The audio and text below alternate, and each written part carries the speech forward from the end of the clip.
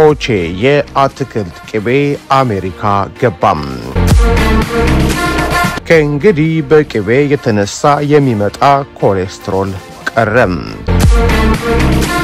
በሀገር ቤት ተወዳጅ የሆነው ከኮሌስትሮል ነፃ የሆነው የጾም ወይም የአትክልት ቅቤ ኦቼ በተለያዩ የአሜሪካ ግዛቶች ይገኛል።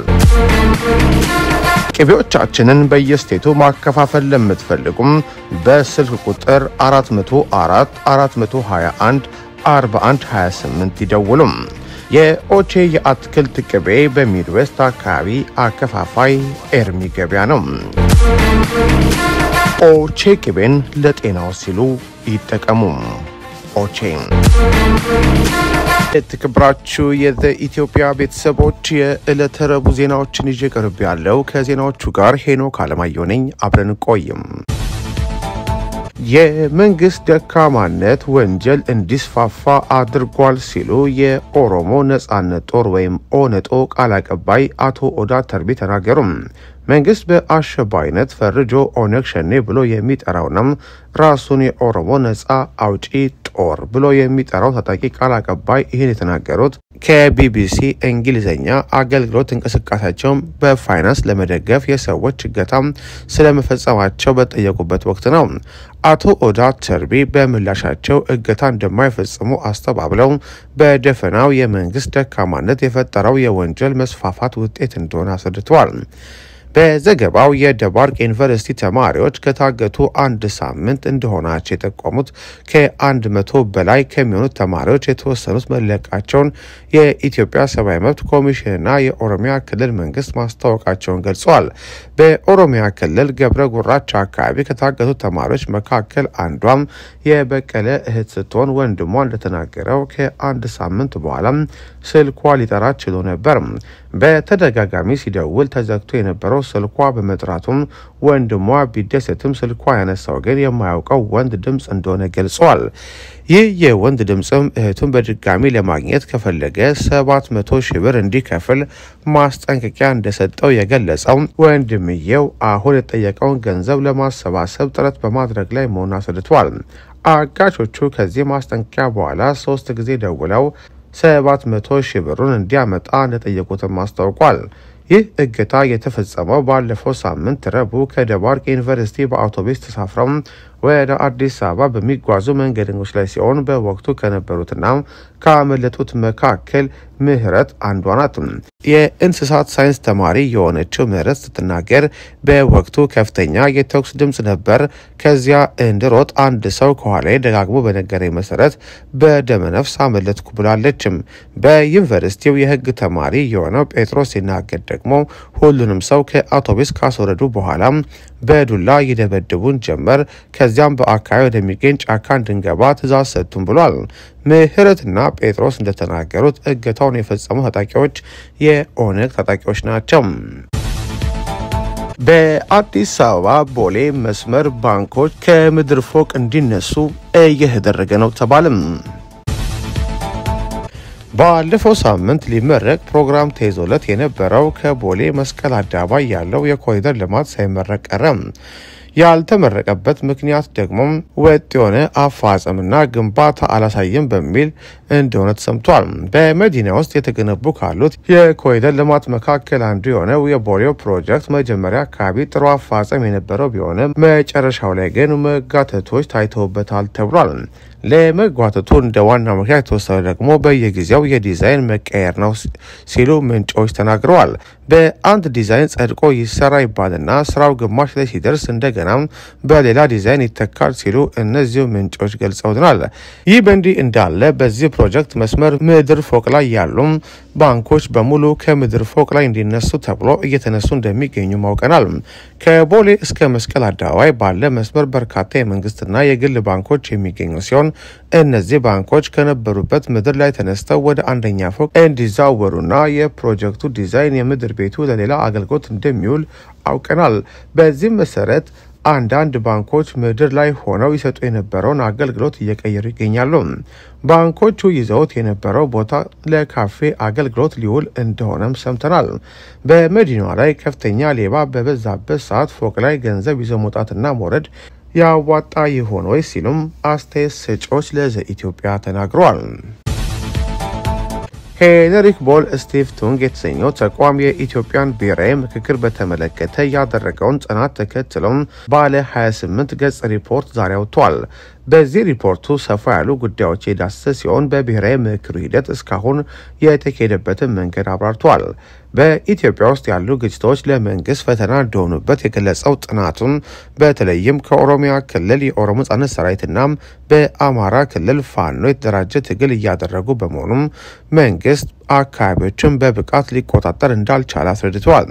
በመሆኑም በተለይ ሁለቱ ታጣቂዎች በብሔራዊ ምክክር ውስጥ አለመካታቸው ወይም ከምክክሩ ውጪ መሆናቸው ስጋትን የሚያጭር ነው ያለው ሪፖርቱም በትጥቅ ትግል ላይ ያሉት መሳተፋቸው የግድ አስፈላጊ መሆኑን ጠቅሶ እንዲሳተፉ አምስት ነጥቦችን ከግምት ውስጥ ማስገባት እንደሚገባ አስቀምጧል። እነዚህ ታጣቂዎች በተጨማሪ በርካታ በኢትዮጵያ ፖለቲካ ውስጥ ባለድርሻ የሆኑ አካላት ከምክክር መድረኩ ራሳቸው ማራቃቸው የጠቀሰው ሪፖርቱም ለዚህ ደግሞ የሚሰጡት ምክንያት መንግስት ምክክሩን እየመራው እንደሆነ የሚገልጽ እንደሆነ አስረድተዋል።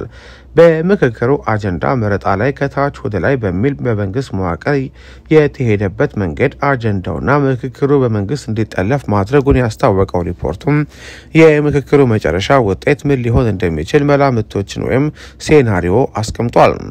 የመጀመሪያው ስኬታማ ምክክር የሚል ሲሆን ይህም ለአገሪቱ ብሎም ለቀጠናው የተሻለ ሊሆን እንደሚችል ገልጸውን ስኬታማ የሚሆነው ግን ሁሉም ባለድርሻ አካላት የሚሳተፉበት ከሆነ እንደሆነ አስረድተዋል። ሁለተኛው ሴናሪዮ የብሔራዊ ምክክሩ ያለ ስምምነት መጠናቀቅ የሚል ሲሆን በዚህ ውስጥ በምክክሩ የሚሳተፉ አካላት በመሰረታዊ አገር ግንባታ ጉዳዮች ላይ መግባባት ላይ ሳይደርሱ ይቀራሉ ብሏል። እንዲህ አይነቱ ሁነት ከተፈጠረ ሌላ ዙር የብሔራዊ ምክክር መድረክ ሊዘጋጅና በድጋሚ ለውይይት የሚቀመጡበት እድል እንደሚኖርም አስረድተዋል። ሶስተኛው ሴናሪዮ ለብሔራዊ ምክክሩ እውቅና አለመስጠት የሚል እንደሆነ የጠቀሰው ጥናቱ ለዚህ ደግሞ የብሔራዊ ምክክር ኮሚሽኑን ገለልተኛነት ጨምሮ የመንግስት ጉዳይ አስፈጻሚነት በተመለከተም በርካታ ጥያቄዎች መሰረት መሆናቸውን አስታውቋል። በአራተኛነት ጥናቱ ያስቀመጠው ሴናሪዮ አሁን በስልጣን ላይ ያለው መንግስት ብሔራዊ ምክክሩን የተወሰኑ ጉዳዮችን በመንግስት መዋቅር ላይ ማሻሻያ ለማድረግ ይጠቀምበታል የሚል ነው። ይህ መላምት በተለይ መንግስት የምክክር መድረኩን የራሱን አጀንዳ ለማስፈጸም እንደሚጠቀምበት ከጅምሮ ሲቀርብ የነበረውን ግምት እንደሚያጠናክረው አስረድቷል። ጥናቱ በማጠቃለያ እንዳስቀመጠው ብሔራዊ ምክክሩ በመንግስት ቁጥጥር ስር ከሆነና የመንግስትን አጀንዳ ለማስፈጸም ብቻ ከዋለ ዘጠኝ ያህል አሉታዊ ውጤቶች እንደሚያስከትል ገልጿል። እነዚህም በህዝብ ዘንድ እምነት ማጣት ያለውን ውጥረት ማባባስ፣ ዓለም አቀፍ ውግዘት ያለውን የጸጥታ ችግር መቀጠልና የሰብአዊ መብት ጥሰት ስጋት የሚሉ ይገኙበታል። የትራንስፖርትና ሎጂስቲክ ሚኒስቴር ከጅቡቲ የሚወጡና የሚገቡ ተሽከርካሪዎችን የማስተናግደው ከእኩለ ሌሊት በኋላ ነው ማለቱም ሹፌሮችን እያማረ ነው። የመስሪያ ቤቱን አገልግሎት የግድ ማግኘት ያለባቸው ከጅቡቲ እቃ ጭነው ወደ ሀገር ውስጥ የሚያስገቡ አሽከርካሪዎች መስሪያ ቤቱ ደንበኞችን የማስተናግደው ከእኩለ ሌሊት ስድስት ሰዓት እስከ ንጋቱ አስራ አንድ ሰዓት ነው በሚል እያጉላላ ነው ብሏል። ሌሊት ከጠበቅም በኋላ ደግሞ አንድ አስር ሰው ብቻ አስተናግደው ስራ ስለሚያቆሙ የሚመለከተው አካል ችግሩን ይቅረፍልን ሲሉ ጥሪ አቅርበዋል። በዚያ ላይ ደግሞ አገልግሎቱን ለማግኘትም ከፍተኛ የሙስና ገንዘብ እንደሚጠየቁም ተናግረዋል። በጉዳዩ ላይ የትራንስፖርትና ሎጂስቲክስ ሚኒስቴር አመራሮችን አግኝተን ሀሳባቸውን ለማካት ያደረግነው ጥረት አልተሳካም። በአዲስ አበባ ሊካሄድ የታቀደው የሱዳን የሰላም ኮንፈረንስ ከወዲሁ ውዝግብ አስነሳም። ኮንፈረንሱ የተጠራ በአፍሪካ ህብረት በኩል ሲሆን በሚቀጥለው ሳምንት ከሰኞ አንስቶም እስከ አርብ ድረስ እንደሚካሄድ ቀጠሮ ተይዞለታል። ለዚህ ኮንፈረንስ ዝግጅት በሚል ቅድመ ውይይትም ዛሬ ተጀምሯል።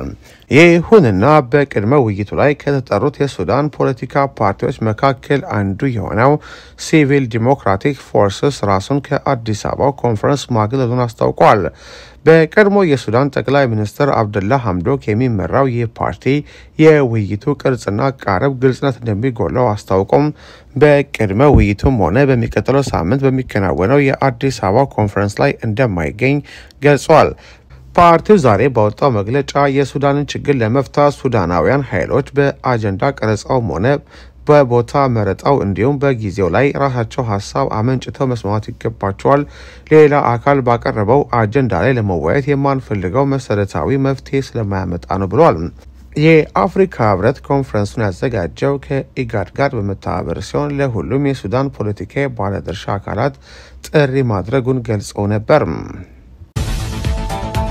ሱዳን የሚገኙ ኢትዮጵያውያን ስደተኞች ደህንነት እንዳሳሰባቸው የ Human Rights Watch የአፍሪካ ቀንድ ዳይሬክተር ገለጹ። ዳይሬክተሯ ላቲቲያ ባደር ዛሬ እንደጻፉት በሱዳን ውስጥ ያለው ግጭት በሰላማዊ ሰዎች ላይ ከፍተኛ ስቃይን ያስከተለ ሲሆን ወደ አንድ ሚሊዮን የሚሆኑ ስደተኞች ዕጣ ፈንታም በስጋት የተዋጠ ሆኗል። ከቅርብ ሳምንታት ወዲህ የፈጥኖ ደራሽ ኃይሉ ታጣቂዎች በሲናር ግዛት ውስጥ በሚገኙ ከተሞች ጥቃት መፈጸም መጀመራቸው የጠቆሙት ዳይሬክተሯም እነዚህ ከተሞች ደግሞ ከ40 ሺህ በላይ ኢትዮጵያን ከሚኖሩበት ገዳሪፍ ግዛት አጠገብ መሆናቸው አስረድተዋል። ከእነዚህ ከተሞች በስተ ምስራቅ ራቅ ብሎ በከሰላ ግዛት ውስጥ ኤርትራውያን ስደተኞች አሁንም እየፈለሱ መሆናቸውን ገልጿል። አንድ ኢትዮጵያዊ ስደተኛ ባለፈው ወር ጦርነቱ ወደ ከሰላና ገዳሪፍ ከተቃረበ ደህንነታችን አደጋ ላይ ይወድቃል እንዳላቸው የጠቀሱት ዳሴቴ አባደር እንዲህ አይነቱ ስጋት አሁን እውን እየሆነ መምጣቱን አስረድተዋል። በሱዳን ጦርነቱ ከተቀሰቀሰ ወዲህ በተለይ በገዳሪፍ ግዛት ተጠልለው የነበሩት ኢትዮጵያውያን ስደተኞች ለሕይወታቸው ስጋት የገባቸው ከመሆኑም በላይ በቂ ሰብአዊ እርዳታ ባለማግኘታቸው ካምፑን ለቀው ለመውጣት መገደዳቸውን የገለጹት ዳይሬክተሯም ይሁንና አሁንም በሺ የሚቆጠሩ ካምፕ ውስጥ እንደሚገኙ አስታውቋል። ዳይሬክተሯ ሲቀጥሉም የትግራይ ኃይሎች ከሱዳን ጦር ኃይል ጎን ተሰልፈው እየተዋጉ ነው የሚል ስሞታ ከፈጥኖ ደራሽ ኃይሉም እየተሰማ በመሆኑ በካምፕ ውስጥ የሚገኙትን ኢትዮጵያውያን ስደተኞችን መጠበቅ ወይም ከአካባቢ ማስወጣት ስትራቴጂ ካልተወሰደ በተፋላሚ ኃይሎቹ ጥቃት ሊሰነዘርባቸው ይችላል ብሏል። እነዚህ ስደተኞች በገዳሪፍ ግዛት ውስጥ በሱዳን ጦር ኃይል ባለስልጣናት የጅምላ አፈሳ ሰለባ የመሆን እድል እንዳላቸውም ጠቅሰው አሁንም በርካታ ኢትዮጵያን መታሰራቸውን አመልክተዋል። ኢትዮጵያውያኑ ወደ ሀገራቸው እንዳይመለሱ በሀገራቸው ግጭት ያለ ከመሆኑም በላይ ደህንነታቸው ለአደጋ እንደሚጋለጥ ያስረዱት ዳይሬክተሯም በሁለቱ ስደተኞች ካምፖች ካሉ ስደተኞች አብዛኛዎቹ ከወልቃይትና አካባቢ ተፈናቀሉ መሆናቸውን ጠቅሰዋል። የኢትዮጵያ ባለስልጣናት እነዚህ በሱዳን የሚገኙ ኢትዮጵያውያንን ለመመለስ የሚያስችል ኮሚቴም ማቋቋማቸውን ያስረዱት ዳይሬክተሯ ይሁንና የሱዳን ባለስልጣናት ለስደተኞቹ ከሱዳን መውጫ የጉዞ ፍቃድ ሊሰጧቸው እንዳልቻሉ አስረድተዋል። በመሆኑም የተባበሩት መንግስታት ድርጅት ተቋማት እነዚህ ስደተኞች በሰላም በደህንነትና በበጎ ፈቃደኝነት ወደ አገራቸው በሚመለሱበት ሁኔታ ላይ ከሱዳንና ከኢትዮጵያ ባለስልጣናት ጋር በትብብር መስራት እንዳለባቸው አስበዋል። የስደተኞቹ ሕይወት አደጋ ውስጥ ከመውደቁ በፊት ይህ ስራ በፍጥነትና በቅንጅት መሰራት እንደሚገባውም ጥሪ አቅርበዋል። የፕሪቶሪያውን የሰላም ስምምነት ለመገምገም የተጠራው ስብሰባ አጠናቀም። የአፍሪካ ህብረት የፖለቲካ ጉዳዮች የሰላምና ደህንነት ቢሮ ዛሬ ባወጣው መግለጫ እንደገለጸው በፕሪቶሪያ የተደረገውን የተኩስ አቁም ስምምነት ተከትሎ የስምምነቱን አፋጸም ለመገምገም ለሁለተኛ ጊዜ የተጠራው ስብሰባ በስኬት ተጠናቋል። ስብሰባው በአፍሪካ ህብረት ጥላ ስር መከናወን ጠቅሶም የስምምነቱን አፋጸም በጎ ሂደቶች፣ ፈተናዎችና ቀጣይ ስትራቴጂዎች በተመለከተ ግምገማ መደረጉን አስረድተዋል። የአፍሪካ ህብረት ኮሚሽን ሊቀመንበር ሙሳ ፋቂ መሐማት በስብሰባው የመክፈቻ ንግግር ባደረጉበት ወቅት ለአደራዳሪዎችም ሆነ ለተደራዳሪዎቹ ምስጋና አቅርበው የፕሪቶሪያ የተኩስ አቁም ስምምነት ከተፈረመ ወዲህ እንዲህ አይነት ለተደራዳሪዎች ምስጋና አቅርበው ከተፈረመ ወዲህ መሻሻሎች መታየታቸው እንደገለጹ መግለጫው አስታውቋል። በስብሰባው ላይ ተደራዳሪዎቹ ማለትም የኢትዮጵያ ፌዴራል መንግስትና ህወሓት ንቁ ተሳትፎ ያደረጉበት ነበር ያለው መግለጫው በስብሰባው ላይ የድርድሩ ታዛቢዎች ተመድ፣ ኢጋድ፣ አሜሪካና የአውሮፓ ህብረት መሳተፋቸው አስረድተዋል።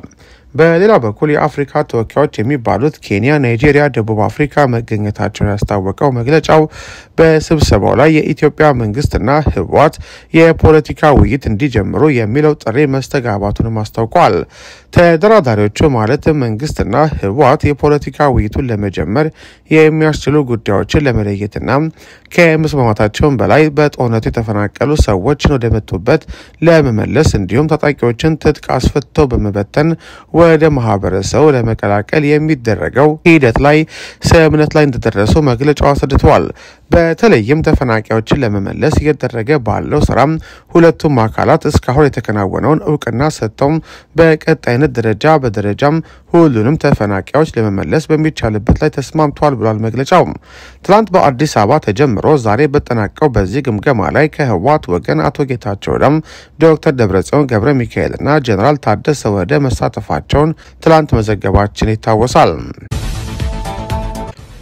ከሐምሌ 3 ቀን 2016 ጀምሮ ከአውሮፕላን ነዳጅ በስተቀር በቤንዚን፣ በኬሮሲን፣ በነጭ ናፍጣ፣ በቀላል ጥቁር ናፍጣና በከባድ ጥቁር ናፍጣ የችርቻሮ መሸጫ ዋጋ ላይ በመላው ኢትዮጵያ ጭማሪ ይደረገም።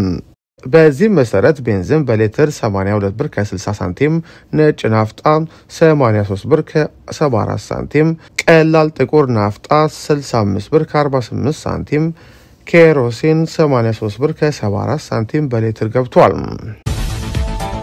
አልጀዚራ ቴሌቪዥን በዶክመንታሪ ቻናሉ Black Bicycles Dream የተሰኘ አዲስ ፊልም በቅርቡ ለእይታ ሊያበቃ ነው።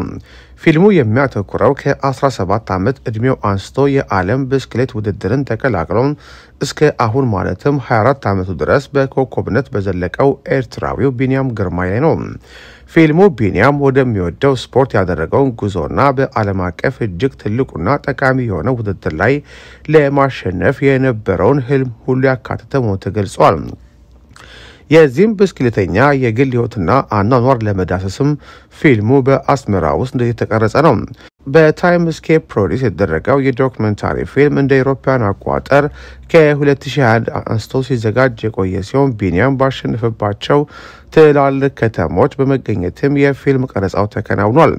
አልጀዚራ አሁን ፊልሙን ለእይታ ለማብቃት የወሰነው ቢንያም ግርማይ በፓሪስ ደ ፍራንስ ውድድር ላይ ሁለት ስቴጆችን በማሸነፉ ነው። ቱር ደ ፍራንስ ከ1903 አንስቶ የፈረንሳይ ድንበሮች በማካለል የሚከናወን ዓመታዊ የብስክሌት ውድድር ሲሆን በዓለማችን ላይ ካሉት ሶስት ትላልቅ የብስክሌት ውድድሮች መካከል አንዱ መሆኑ ይታወቃል። በዚህ ከመቶ በላይ ዓመት ባለው ውድድር በአብዛኛው ያሸነፉት አውሮፓውያን ናቸው። ከአውሮፓውያን ውጭ በማሸነፍ የሚታወቁት የአሜሪካ ወይም የኮሎምቢያ ተወዳዳሪዎች ነበሩ። በዚህ 121 ዓመታት ባስቆጠረ ውድድር ላይ ቢንያም ግርማይ በዘንድሮ ከአንዴም ሁለቴ stage በማሸነፍ የመጀመሪያው ጥቁር አፍሪካዊ በመሆን ታሪክ ማስመዝገቡ መዘገባችን ይታወሳል። አልጀዚራ በዚህ በቅርቡ ለእይታ በሚያበቃው ዶክመንታሪ ፊልም ከእንግሊዝኛ በተጨማሪ በትግርኛም እዋነይ እዩ የሚል ርዕስ ሰጥቶታል።